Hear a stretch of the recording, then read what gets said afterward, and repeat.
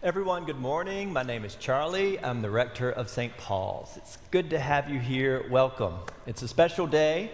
After the service, we have our annual parish meeting.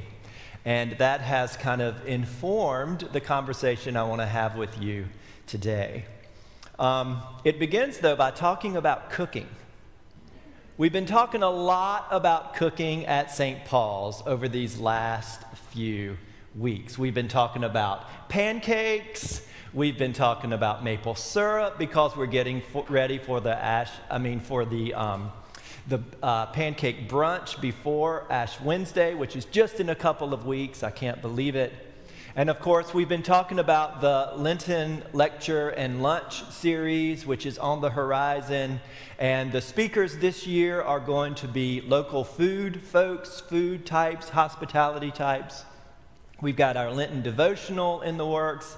Uh, Matthew and I are leading a conversation about cooking and the spirituality of cooking. You get the point. so I have to ask who among you are the cooks in the family?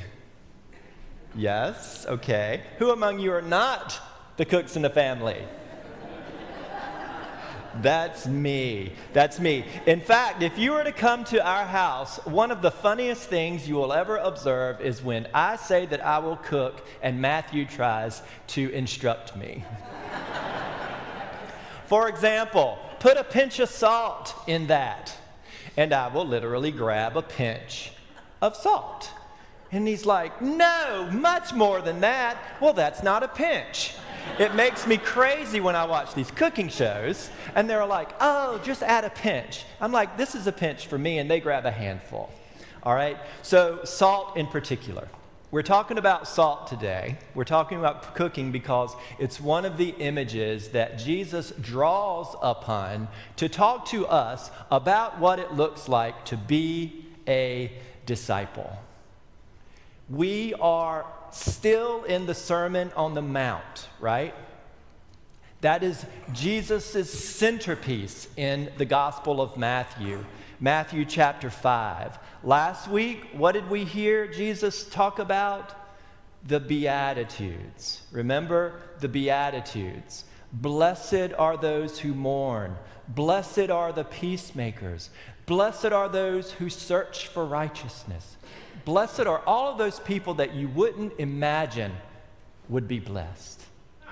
That's who Jesus calls blessed, right? That's the beginning of his Sermon on the Mount. And the Sermon on the Mount is much longer, and we continue it today. But keep in mind that these Beatitudes are the centerpiece of Jesus' teaching. All the way through the Gospel of Matthew, the Beatitudes serve as the centerpiece. So, what's happening today? Jesus is talking about salt and light. Why? Because Jesus has put out his vision of who is blessed. It's kind of compared to Dr. King's I have a dream speech. This is Jesus' dream. This is God's dream, these Beatitudes. He's laid it out for his disciples. And now he's saying to his disciples, now this is the way you've got to live that out. You can't just leave these Beatitudes up here on this mountain. You have to take them out there with you. And that's why he's talking about salt, and that's why he's talking about light. Salt and light, things of everyday life. Salt, however, was considered a great prize. It was hugely sought after. And you would be amazed at how important salt would have been in the ancient Near East and how it trickles into our life today. For example, the word salary comes from the word salt. That which would have been given to a Roman soldier to purchase salt. Salt was needed and essential. And the word salacious comes from the word salt fertility. And then, of course, the idea of preserving. Salt preserves. But the most important thing about salt is that it does not do any good unless you put it with other things, unless you add it to the mix. This is what salt is intended to do bring out flavor. And so, what Jesus is saying is that you can't be salt if you just sit there doing nothing. You can't be salt if you just sit up here on this hill and hear these ways of being blessed and offering blessing and not taking that blessing out into the world. Be salt, he said. Live like salt.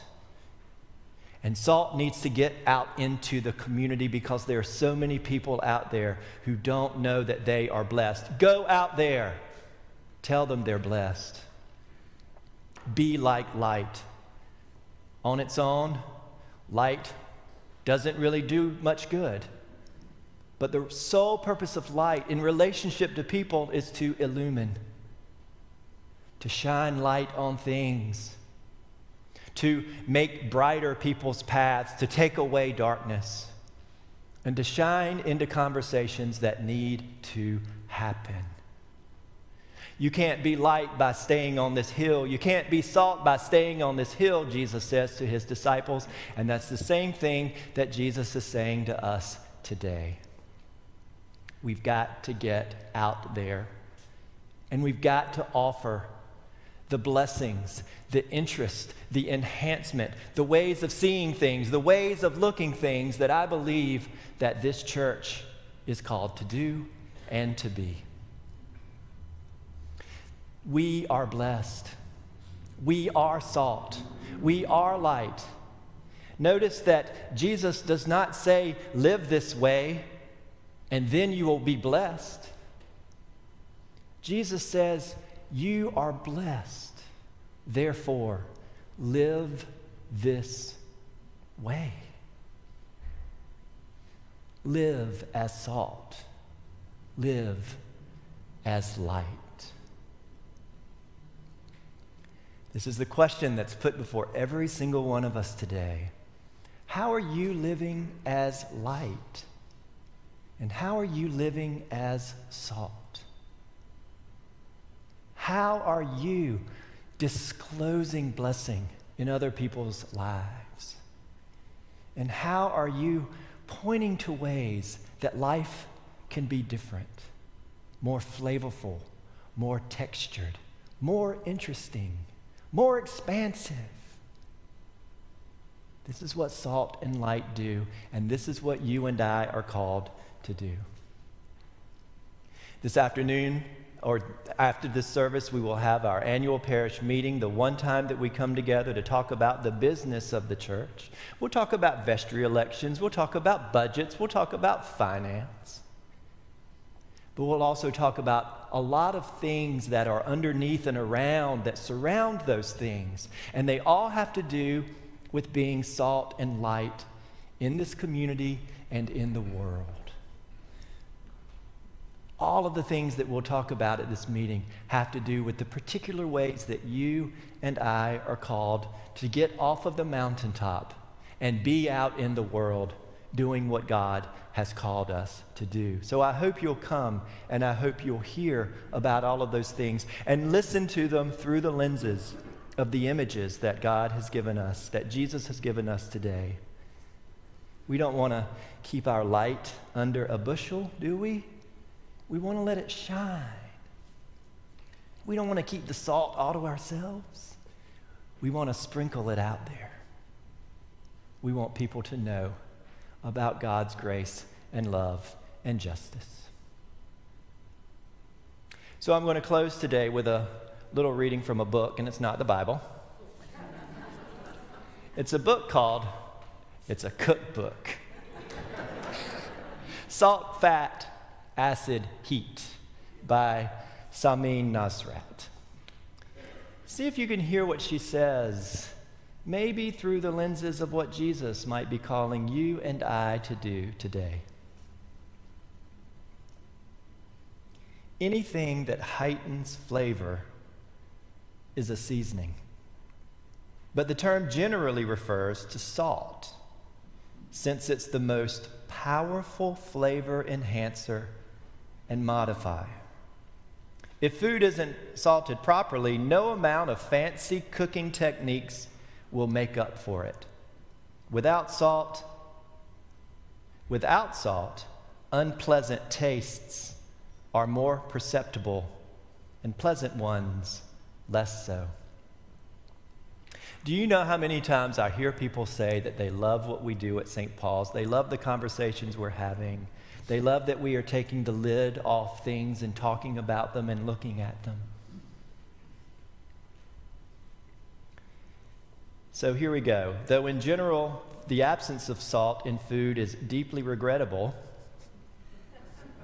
its overt presence is equally unwelcome.